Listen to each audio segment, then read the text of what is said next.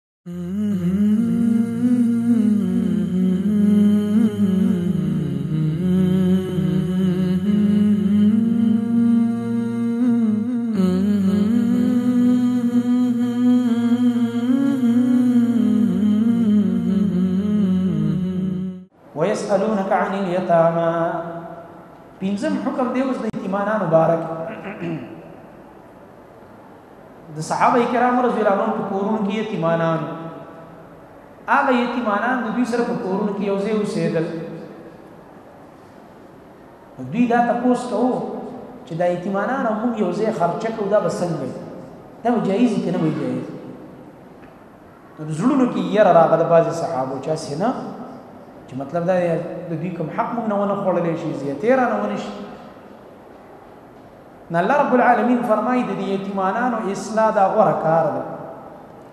او د اصلاح په نیت و سره شریکه خرچه کولی شي ستاسو سرونه دي خیر دی شریکه خرچه اوسه جایز ده هم که د فساد په نیت و سره خرچه شریکه چې په دې طریقه ته د یتیم مال خوري نه بې ګناه ده که په دې نیت باندې ته خرچه شریکه کړې چې لکه اوس دا یتیمانان دي زما په کور کې ماته پاتې شو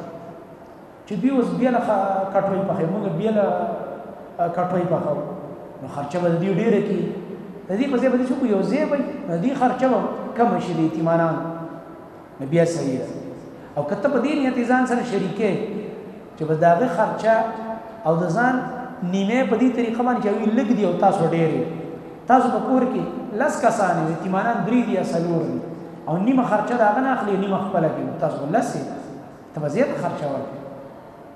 او هغه ته چې نه نیمه پتاي نیمه په ما باندې یا دا د پلار مال پاتې نیمه دا غین را لې نیمه خپل لګي دا تا دوکاو کړو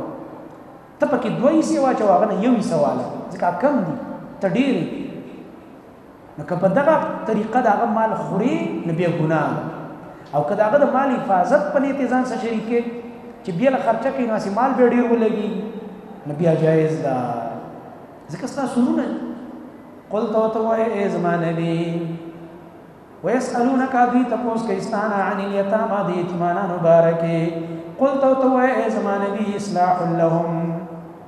اصلاح د دې یتیمانانو لپاره دا خیر غوره کار دی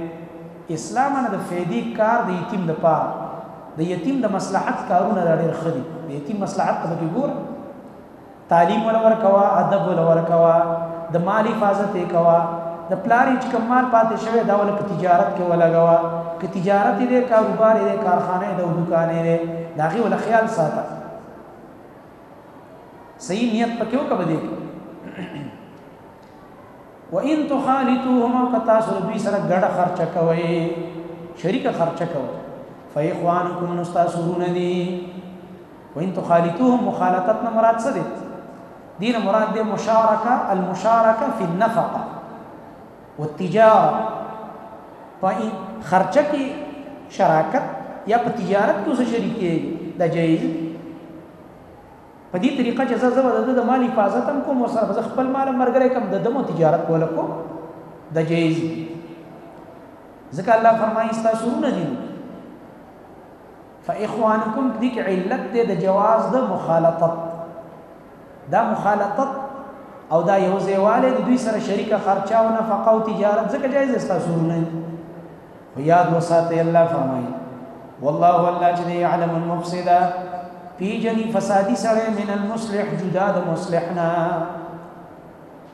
والله يعلم يعلم کې علم التمييز مراد دی الله رب العالمین تمیز کې جدا جدا او معلوم دی فسادی د مصلحنا څوک مفسد دی د فساد پنیت د یتیم سره مال شریکي او څوک مصلح دی د اصلاح پنیت باندې مال شریکي الله ته دوه معلوم دی ګور ولو شاء الله وغفته الله دي جمله کې د الله احسان دا ذکر کیږي ولو شاء الله کو وخت ولا لعنتکم نو خامخا تاسو به په تکلیف کې چولی وي تکلیف دا مشقت کې به چولی چې نه بس ستا به جدا خرچ او دا به جدا یو شرطونه به الله سخت کړی نو الله رته خبر آسانه تکلیف کې نه چولی د سي احکام نه دی را لګیلي چې ستاره طاقت او د برداشت نه باري ان الله يقينا الله عزيز حكيم غالب ذات دي حكمة والا دي ولا تنكح المشركات حتى يؤمن شپږم حکم دي کې منع ده عن نکاح المشرکات نهي کوي الله رب العالمين د نکاح المشرکات مشرک زنانه په نکاح باندې مال مشرک خزه خپل کور ته مراواله ځکه د مؤمن د مشرک سره نکاح نه کیږي هغه به ګرځي په باباګانو او په دربارونو باندې او په کوډو او منترو پسې به ګرځي په تعویزونو او په بندونو او په تارونو پسې به ګرځي کور به د شرک اډج سم مؤمن او چې د الله نه غیر د بل چا عبادت نه کوي واځي د الله عبادت کوونکی دا یو صحابي راغی ابن ابي مرخد الغنوي رضی الله عنه په مکه کې یو زنانه وه عناق نوم یو مشرکه وه د ده خوښه وه د جاهلیت د وخت نه وسه تعلق د خو بیا هجرت وکړو مدینه ته راغله بیا یو موقع کې د الله نبی سره یو مهم کې لېږل او مکې ته نو پټي هغه زنانه ول ملاقات لراغه خو زه دې ته بیا راووته هغه وته زما ضرورت پوره کول نه ضرورتونه وخت لري زه مسلمان یم ګوره زما او ستا جاهلیت کې ښه تعلق پخوا نه تعلق نه تعلق معلوق نشته زمونږ په اسلام کې اوس نکاح ده بس راغ رسول الله صلی الله علیه وسلم نه تاسو کې دا الله نبی دغه زنانه مې خوخه ده نکاح وکم دا الله نبی له مشرک سره نکاح نه کی مشرک سره نکاح نه کی صحابه کرام سخت تابعدار دي نه الله فرمایي ولا تنكحوا المشركات په نکاح باندې مالې مشرک زنانا حتا تر دې پورې یؤمن چې ایمان براوړي دا زنانا سو پوری چې ایمان نه دی راو عقیده د توحید نه ده نکاح به سره نه کی اوس الله فرمایي ولا امه مؤمنه نو خامخا یو وینځه چې مؤمنه ده وینځه ده ګوره ښه آزاده ښځه ده وینځه خو مؤمنه ده ایمان پکې دی توحید والا خیر دا غوره ده من مشرکتین د مشرک نه چې آزاده وي آزاده مشرکه ده او بل طرف ته وینځه ده او مؤمنه ده دا وینځه مؤمنه ته خاله ولو اعجبتکم اگر که په تعجب کې اچي تاسو لره د دې مشرک دا مال او جمال ولو اعجبتکم بالمال والجمال اگر که دا مشرکه مال مو سره ډیر دی جمال او خایست مو سره ډیر دی خو خپل انده مالدارم ده او آزاد ده خو مشرکه ده د دین هغه وینځه خده چې غریبه ده او خیسته هم نه ده خو مؤمنه خو ده که هغه ترې غوره ده ځکه هغې کې دیني فایده ده ستا ستا دین ورسره خرابېږي وروسته نسل دې ورسره خرابېږي دا خو ستا وروسته نسل کې به یې شرک راولي ته به خبر هم نه یې بچي به دله په باباګانو په پیرانو پسې ګرځوي لګې ته به ګټې او په پیرانو باندې به سپاري ستا پیسې او په پیرانو لګې څومره زنانه دي خپلې عقیدې تباه او برباد کړې زموږ د امت عقاید یې خراب دي، چا ورته قرآن بیان نه کړ، مالونه یې هم برباد شو، ایمانونه یې هم لوټ شو، عزتونه یې لوټ شو. عجیبه خبره ده. اوس الله جانب مقابل کې فرمایي د زنانو اولیاء ته خطاب کوي وس چې ګوره مشرکانو تم لور خور په نکاح مور کوي مخکې وسړو ته ویل ته مشرکه خزمه کوي اوس وای مشرکانو سړو ته لور خور په نکاح نه ورکه د سړی عقیده ته ول ګوره دین ته ګوره بیا ور سره رشتہ کاوه ولا تنكحوا المشركين او په نکاح باندې مور کوي خپل نور خويندې مشرکانو ته حتا تر دې پورې یؤمنو چې وی ایمان راوړي هغه به ایمان راوړي عقیده به توحیدی چې شرک پکې نه بیا ورلا لور خور ورکه اوس دلته من الله فرمایي ولعبد مؤمن او خامخا غلام هغه مری چې مؤمن دی خیر دا غوره دی من مشرکین د آزاد مشرک نه ولو اعجبکم اگر که په تعجب کې چې تاسو لره دا مال او جمال یو طرف ته مشرک دی مال مسخډیر دی خایستم دی او جیداد دی او دا تا نه لور خور غواړي د ده نه حقه غلام ښه دی چې غریب دی او غلام دی خو مؤمن دی هغه له لور خور ورکړه دا غوره دی ځکه کې دین دی او ایمان پکې دی اوس الله فرمایي دې مشرکانو سره دا رښتې ولې مه کوئ د دې وجه اولئک دا مشرکان چې یدعون الی النار دوی خو دعوت کوي د اور طرف ته دوی خو عقیده خرابه ده جهنم ته خلک راکاږي والله الله چې يدعو هغه دعوت ور کوي بلنه کوي الى الجنه جنت طرف ته والمغفره او د بخنه طرف ته باذنه په خپل حکم باندې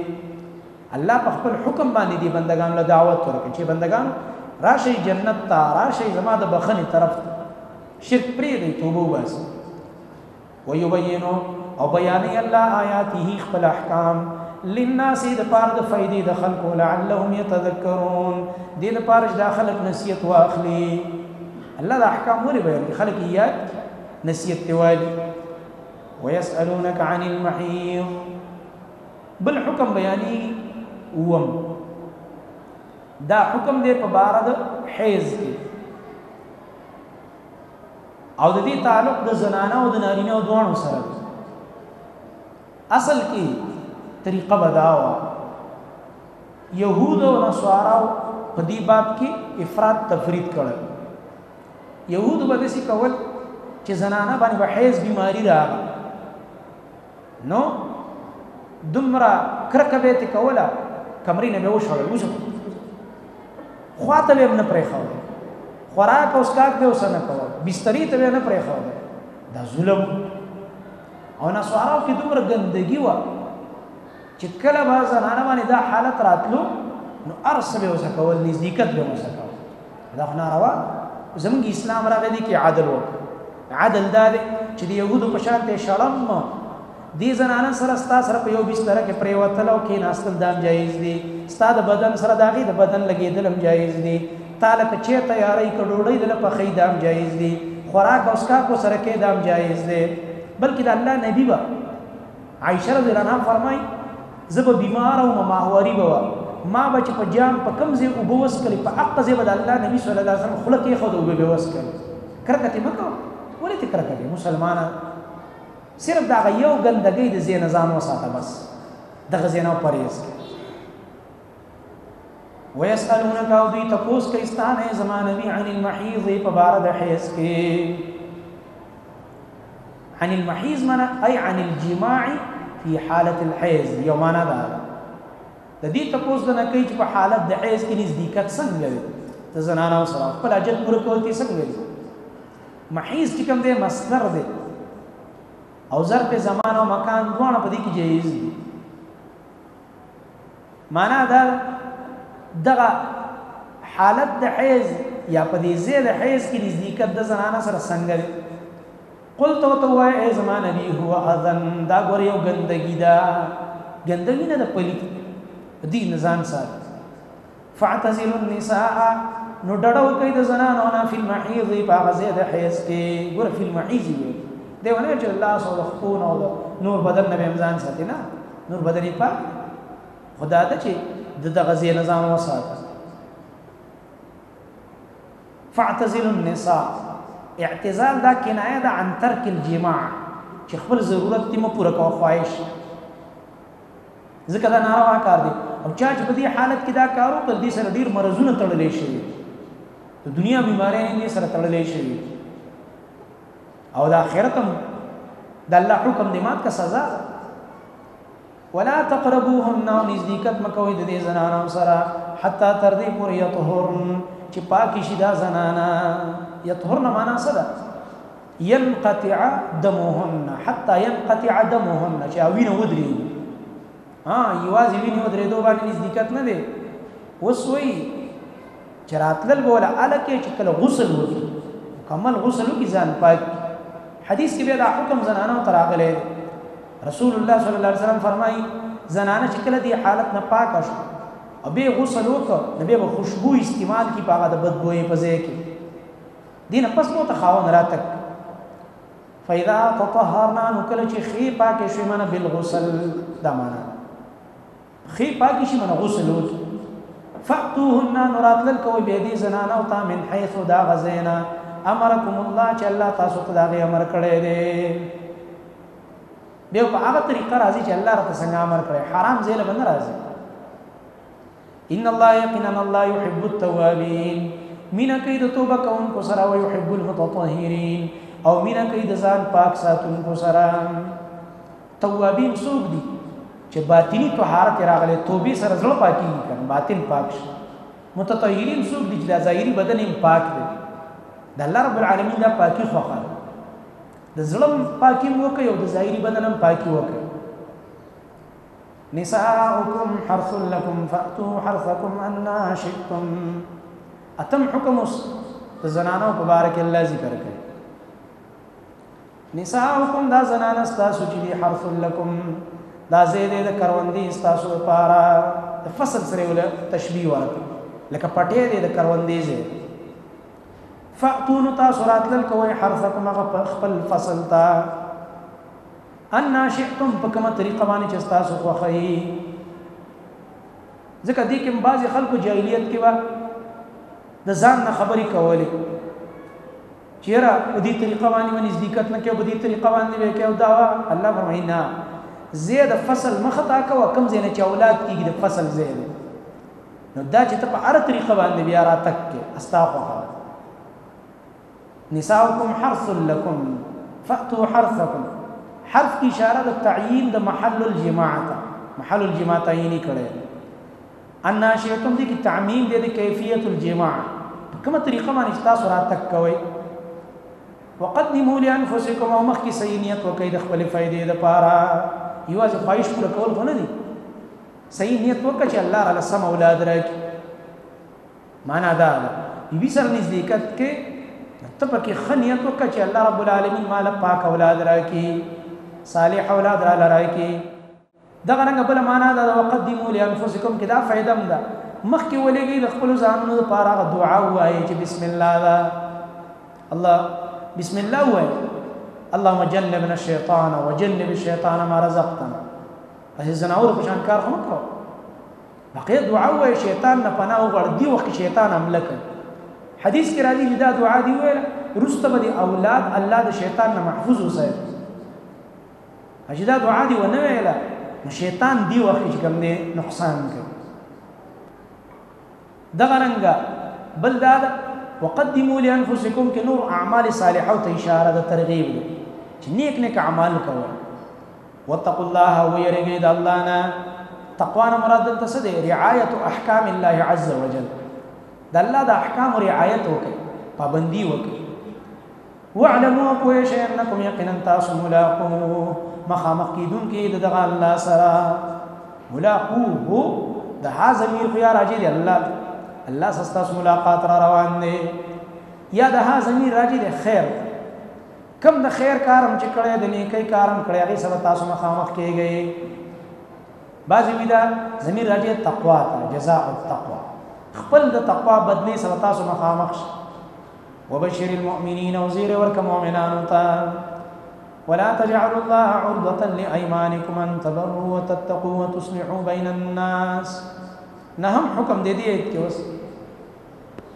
دلته اوس هغه خلق باندې رد دی چې هغوی د الله په نوم قسم کوي او د الله رب العالمین د عظیم او لوی نوم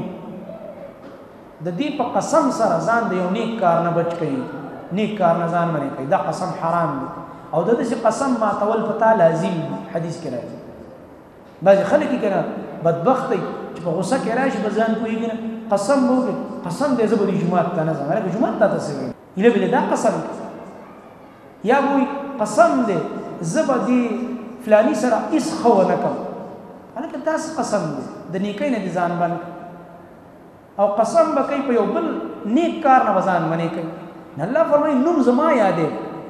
او ځان منې کې د نیکۍ نه د تقوا نه او د خلکو منځ کې د اصلاح نه لکه یو سړی وایي قسم دی زه به د خلکو منځ کې صلح نه کوم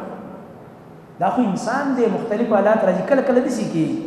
ته به یو خیر کار رانیولې او ته به یو چا سره ښه کې او په دې خو کې ستاسو تاسو بدو کی نو بعضی قمقل دسی کوي وای زما دې قسم مړه کبه ما چا سره خو وکړ ولی غلط قسم کې الله دا خدای د الله د نافرمانی قسم بس دا یو سره او بد تاسو سره بد وکړ په دې دا دې ته سوچ مکوه نور د دې مطلب دا نه ته وای چا سره خنه کې خو کې خلکو سره تخ کوا نیکی کوا چې کله تا ته مقرات ته خېګړې کوي نو دلته الله فرمایي ګوره زما نوم د نیکۍ نه د بندیدو نشانه مه ګرځوه چې د نیکۍ نه ځان بندې لګې او د تقوا نه او د اصلاح بین الناس نه یا قسم کې چې زه به د خلکو منځ کې صلح نه کوم زه به دوه کسان نه جوړوم دا غلط قسم داسې قسم ماتول پتا لازم دی او د الله نبی به داسې قسمونه په صحابه باندې ماتول چې مات کړه قسم او دې مثالونه تاسو لرازي ان شاء الله درس کې به تزویم زی به زی به مختلف واقعیات راشي صحابه قسم کړي او به مات کړي ته نږدې د طلاق په مسله کې یو قسم را روان دي دی صحابي د معقل ابن یسار خوري ولا طلاق کړي او به کې خاوند ته بیرته رجوع کوله د نور کوله خپل قسم مات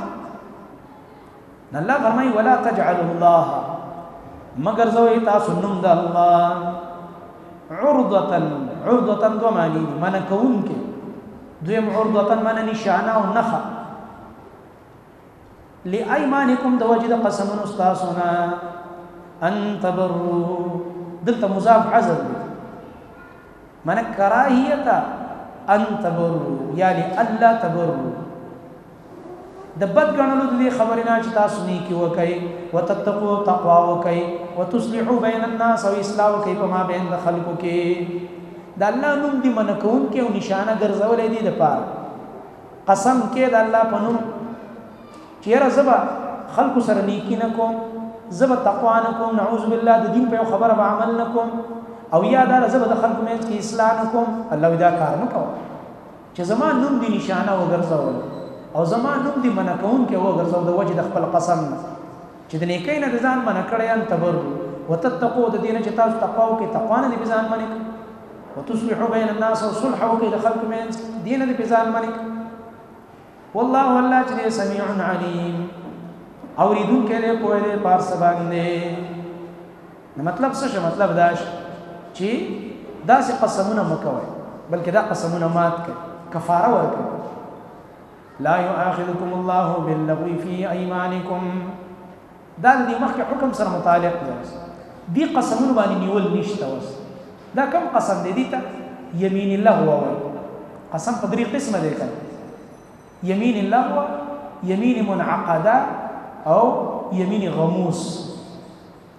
یمین الله ودا دی چې تاسو خپل دی عادت ته قسم باندې ستا نیت ته قسم نه سو ته کوم ځای نه یره والله لک بازار ته تلې ما او والله په پلانې په لار باندې والله والله کې نه دا بی ارادي قسم دی ته اصل انسان عادت په دې کې نیول نشته په دې الله نیول نه کړه تا نیت نه کړی قسم اسی عادت شانته دی تکیه کلام باندې ګرځېدلې دا خبره نو بعضې سړی څه وایي که نه عربو به مې ای والله بلا والله لا والله کلا والله داسې وایي هېڅکله به داسې نه شي والله او والله چې هلته تللی وم ولې نه والله دا کار به وشي داسې خبرې به یې کولای چې خبرو کې تکې کلام شانته به نه د نه چا د قسم مطالبه کړې ده نه څه ضرورت دی نه ورته تا نیت کړی هسې یو تکې کلام غوندې د جوړ شوی دی دې ته یمین الله وایي په دې نیول نشته یو دی یمین منعقده، یمین منعقده دا دی چې ته قسم وکړې چې زه به آینده زمانه کې دا کار کوم یا به نه کوم نو چې کله دې د هغې مخالفت وکړ نو تا باندې قسم مات شو کفاره راغله دریم یمین غموس دی دا خطرناک قسم دی غموس، غمس، ډوبېدو ته وایي کنه چې سم دې په ګناه کې ورغوپه کی هغه دا ده چې ته په ناجایزه په پردي حق باندې قسم کوي دا ځمکه زما ده پردو ځمکو باندې پردي سړي لپاره کله قسم کوي چې راشه مال قسم وکړه طالب لکه پیسې درکم زما لپاره قسم وکړه چې دا ځمکه زما ده ستا په قسم ځمکه پردي شي د بل چا لاړ شي نه په دې باندې ته په درې روژو نه خلاصېږي یاد ساته نه په لس مسکینانو ډوډۍ او په جامو خلاصېږي ځه مړه کفاره به ورکړم که نه کفاره دغې کې نشته کفاره په یمین منعقده کې ده په دغه قسم به اله خلاصيږي اله به ستا دا غاړه خلاصيږي چې بیرته به ځي او بیا به وایي چې قسم مې په دروغه کړی و ګناه مې کړې ده او الله ته مې توبه وکړه دا ځمکه د ده نه ده غلطي مې کړې ده داسې کار وکړه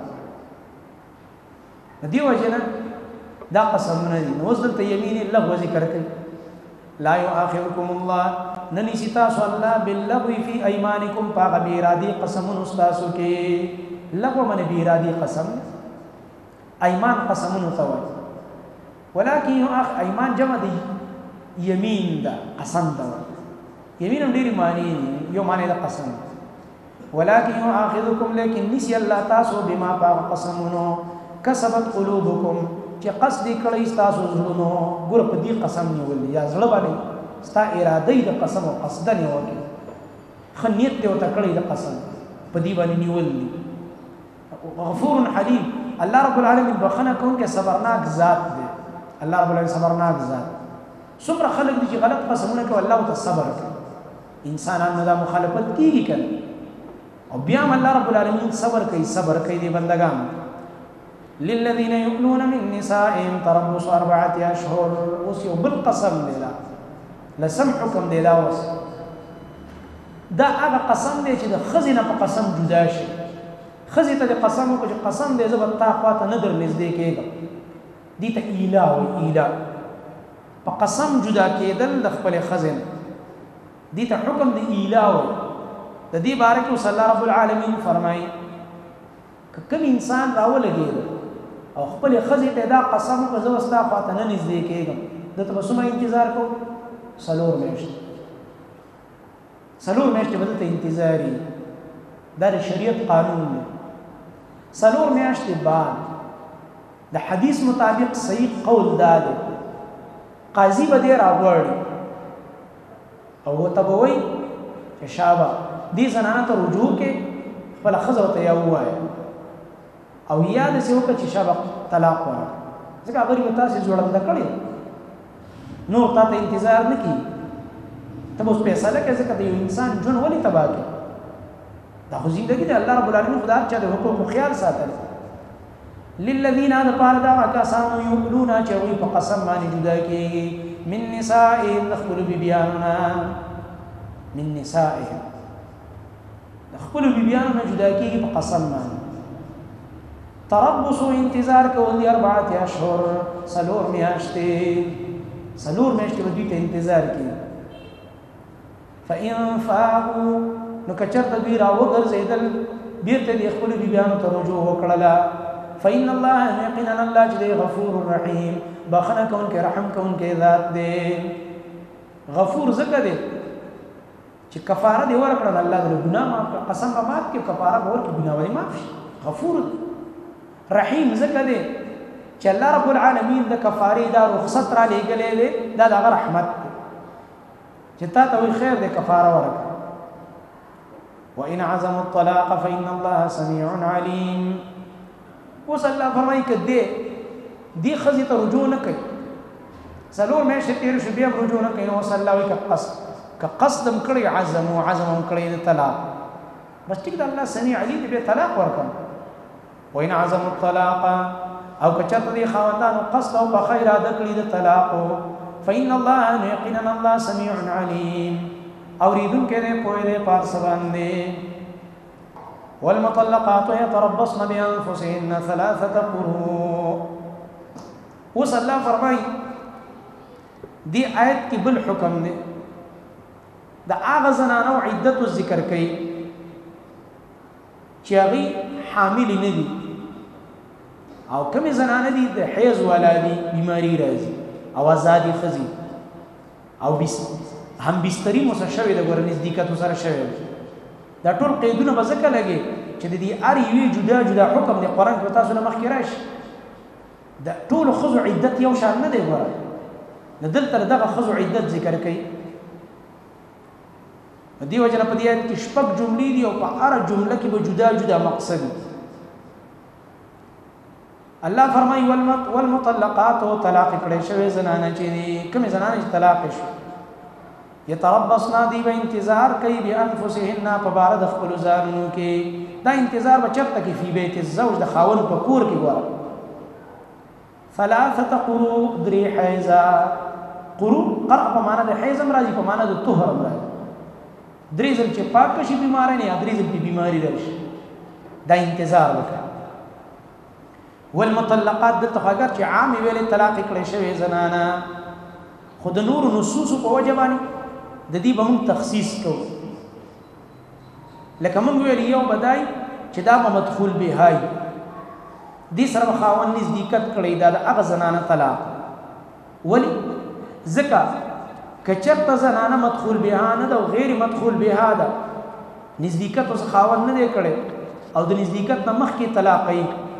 نو د هغې عدت بل شان دی هغه برستو راځي سورة الاحزاب کې 49 آیت کې ذکر کړی هلته الله فرمایي یا ایها الذین آمنوا اذا نکحتم المؤمنات ثم طلقتموهن من قبل ان تمسوهن فما لكم عليهن من عده تعتدونها ای ایمان والا کله چې تاسو نکاح د مؤمنو زنانو سره وکړي بیا ول طلاق ورکړي مخکې د نزدېکت نه تو سره لا نږدې شوی نه یو مسلمان بس نه مې د پکار طلاق الله فرمای فما لكم عليهن من عده تاسو د پاره په دې زنانو عدت نشته د دې زنانو عدت نشته چې ولې شماري څه شماري هیڅ نزدېکت نه شي عدت خو دې لپاره نه چې استبراد رحیم وشي رحیم پاک شي د مخکې زوړ خاوند دې ته نزدېکت نه شي نو دلته یو دغه زنانه مراد چې مدخول بها دویمه دا ده دا به هغه زنانه چی غیر حامل به وی حائله به وی حامله به نه وی ګوره ولی که حامله نو د هغې حکم صورت طلاق کې به راځي هلته به څلورم آیت کې راځي د هغې حکم بیا جدا دی هلته الله رب العالمین ذکر کړی دی سورة طلاق څلورم آیت کې الله فرمایي